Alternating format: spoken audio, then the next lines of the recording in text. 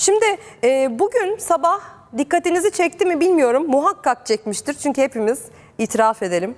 E, yataktan çıkmadan ne yapıyoruz?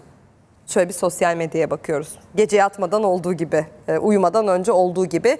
Instagram'a erişemiyoruz. Böyle bir eliniz ayağınız titredi mi? Benim titredi. E, Instagram'a erişemiyoruz. E, BTK'dan bir kısıtlama geldiği için erişemiyoruz. Bakın e, sorgu sayfasında Bilgi Teknolojileri ve İletişim Kurumu'nun e, sorguladığınızda böyle bir sayfayla e, karşılaşıyoruz. Bir karar olduğu ifade ediliyor.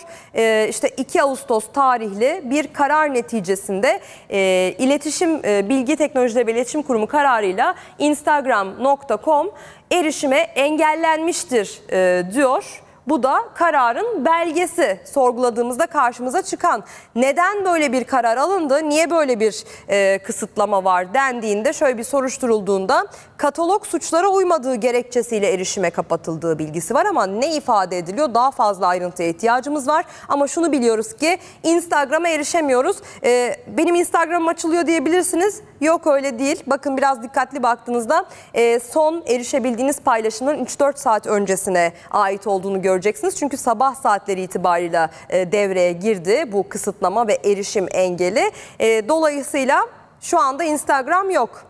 Artık elimizde kalan diğer sosyal medya platformlarında safları sıklaştıralım Instagram gelene kadar. Ee, bunu da sizlerle paylaştık ama siz zaten muhtemelen bizden önce fark etmişsinizdir. Ee, bu haberi bizden duymamışsınızdır diye takip ediyor, e, tahmin ediyoruz.